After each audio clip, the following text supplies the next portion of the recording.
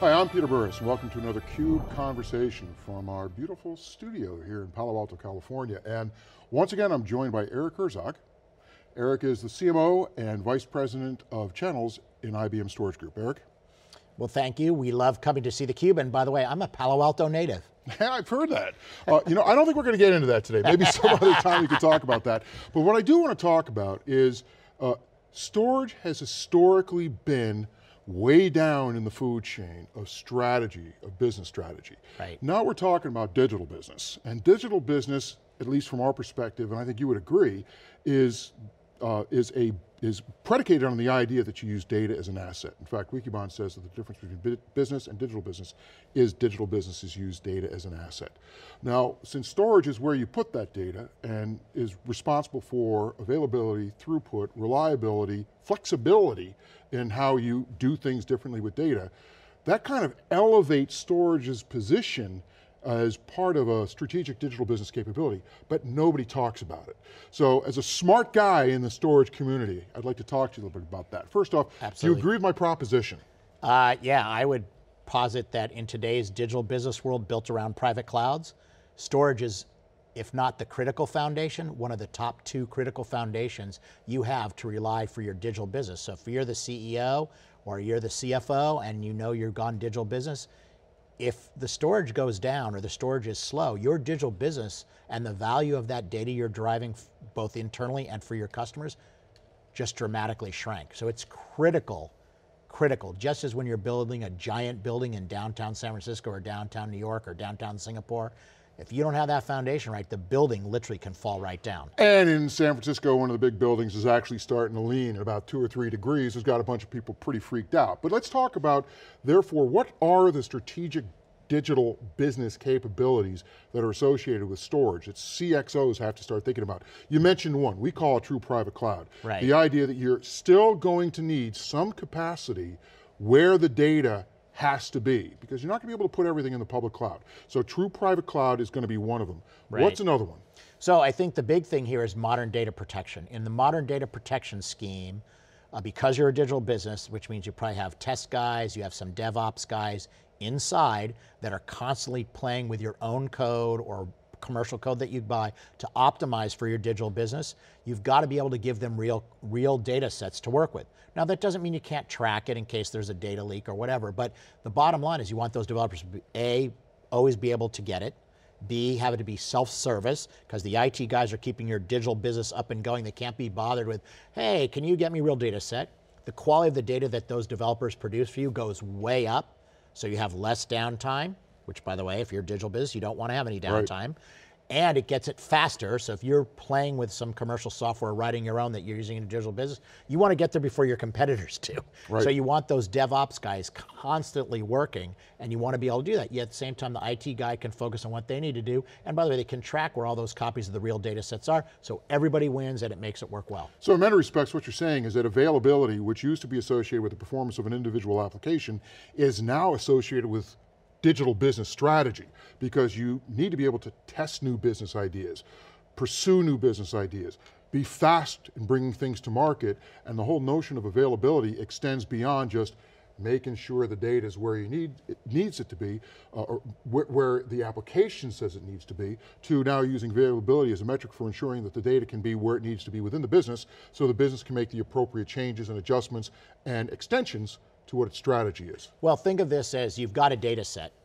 The more you use that data set, not just for the primary storage that gets used by the end users that are coming to your digital biz, for, for everything else. Back it up, okay, great, checkbox. Okay, interface with common APIs so the DevOps guys can use it. Another checkbox. Making sure that the test guys can test real data sets, not faux ones. Guess what? Faster test time, more accurate test time, boom, better impact for your digital business. So extending the value of the data from just primary storage throughout your entire digital software development process is critical. And in today's world, that's what you can do with the modern data protection that, for example, we have with our IBM solutions. So let me build on top of that, because I think another capability might be increasingly associated with speed of development. It used to be, again, that storage was very closely aligned with what your server needed, increasingly we're starting to see the concept of data protection and the concept of data availability actually start to mean something very, very different to developers.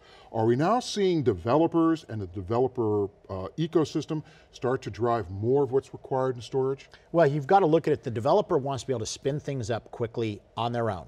So in the old world, you do a ticket, you give it to the VMware guy, the Hyper-V guy, the IT guy, it takes a week or so. You don't want to do that. So with our stuff, for example, you can check in and check out.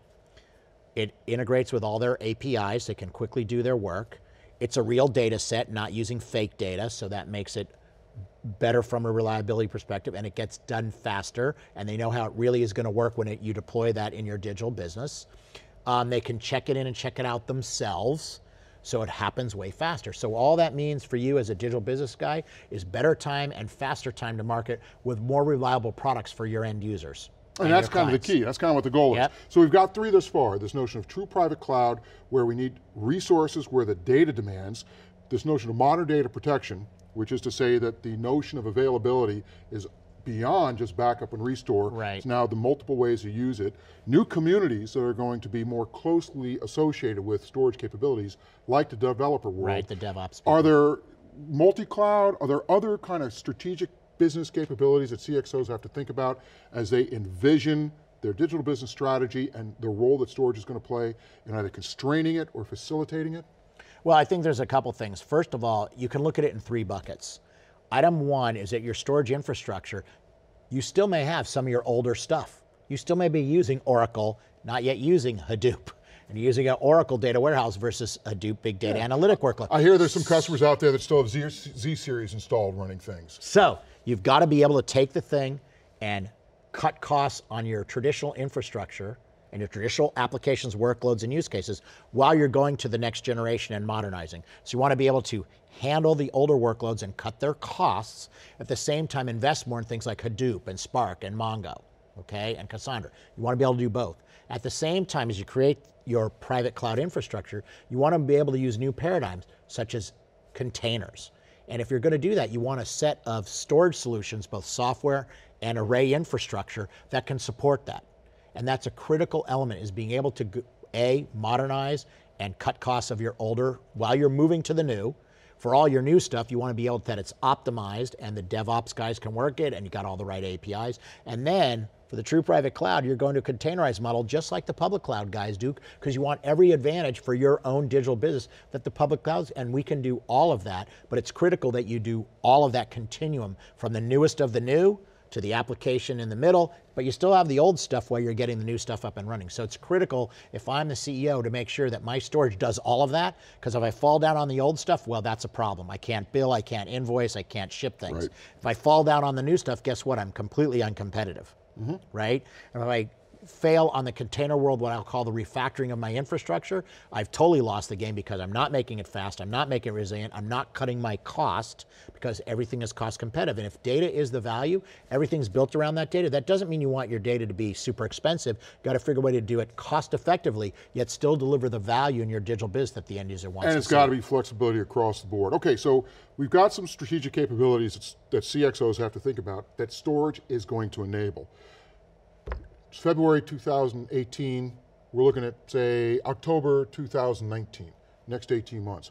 What's going to be the one or two biggest changes in the storage world, do you ah, think? Okay, first thing is going to be the automation of storage software across the board. Not just for the storage guy, not that all storage companies don't love the storage guy, but increasingly, there's a move to DevOps and other functions. So while each company is managing eons and eons and eons of more storage capacity, they're not adding eons and eons of storage admins. So you've got to have the Docker guy, you've got to have the application guy, be able to back up, be able to optimize their workloads, be able to go ahead and spin up a new container without calling the IT guy because the IT guys are overworked. So that's item one is integration with all the coming APIs, automation, self-service are critical. The more it's automated, the more self-service is, the more you can factor in the non-storage guys into creating a true digital business. That's right. item number one. Second thing you've got is there's a new technology known as NVMe. This is a very high performance storage interface. It's new to the market. All the big storage vendors are working on, including IBM. We did an announcement on February 20th all about NVMe. The value there is more and more applications and workloads because of the performance of the system itself, which is already highly resistant, highly available, and highly um, capable of handling any failure mode is it's super fast, which means you can put more and more applications and workloads on a physical infrastructure, which saves you time and saves you money. So those are two critical things. The rise of this automation paradigm and the self-service paradigm across all of your storage software and integrating it with your application layer, being able to use real data sets, right, as modern day. And then this new high performance storage interface that will dramatically allow more workloads for every ounce of storage you buy, saving you money and also making it highly performant to meet your digital business SLAs. I think those are two great ones. I'm going to add one more, and I'm sure we're going to be talking more about this. I think over the course of the next year and a half, we're going to see even greater understanding of the relationship between storage and data and new rules, new conventions, new approaches to how to think about that relationship so that all of this great stuff that's happening within storage actually does become a strategic business capability. Yeah, you could say that storage management software will morph into data management or at least a hybrid of partial managing the storage, but actually also managing the data and things like what is, what is the metadata and how can you use metadata more effectively manage your business? And we're doing a whole bunch of that with IBM and we've already announced several things around that. So that's, that's an actually great observation. And it's not too far from there to say digital asset management, not in a traditional, not, not in the marketing sense, but right. overall how it works. Eric Herzog, CMO, Vice President of Channels, IBM Storage. Once again, thanks for coming on theCUBE and talking to us about some of the things that are going to happen over the next 18 months in the storage world. Great, thank you very much. We always appreciate being with you and uh, thanks again. I'm Peter Burris. Once again, this has been a CUBE conversation from our Palo Alto studios with Eric Herzog of IBM. Until next time.